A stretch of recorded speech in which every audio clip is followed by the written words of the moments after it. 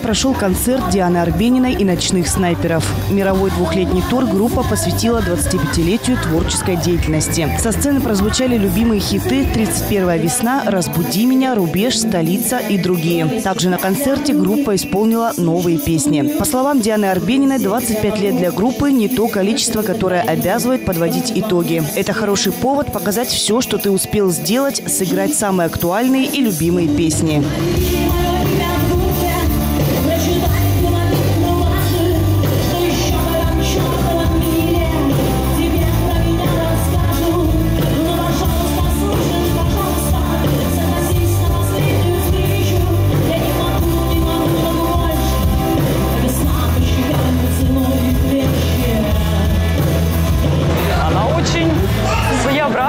Очень, не знаю, живая, настоящая, наверное.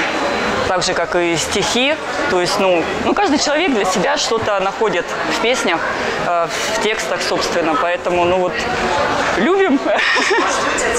Самым знаковым выступлением ночных снайперов в рамках юбилейного тура станет концерт в Москве, который 4 ноября пройдет в спортивном комплексе «Олимпийский». Помимо самой группы, в нем примут участие приглашенные звездные гости. В юбилейный год выйдут несколько клипов и первый в истории группы сборник «The Best» с хитами в новых аранжировках.